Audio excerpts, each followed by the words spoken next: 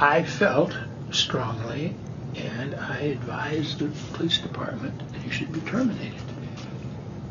The man is out on the street in a squad car with a gun. Uh, all reports are good. I mean, this is a great guy. There's nothing we can do to accommodate it, as you know, under the, uh, the ADA. Uh, you, you make reasonable accommodations, but there was nothing specific to accommodate here. I mean, we couldn't go to his house every morning and. I mean, this this was not the situation where uh, you could accommodate either by hours or by. Right. So we terminated. And uh, as I indicated under law, uh, no hearing is necessary. The chief simply terminated him.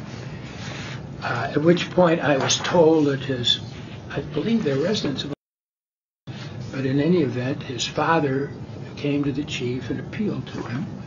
Uh, I was told that this is a fine young man. He wants to be a police officer. This will never happen again. Well, we felt we couldn't take the chance. It, it was a very difficult decision.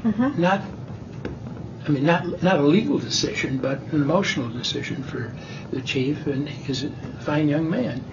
Uh, but we just felt that we couldn't take a chance of having a police officer recur again.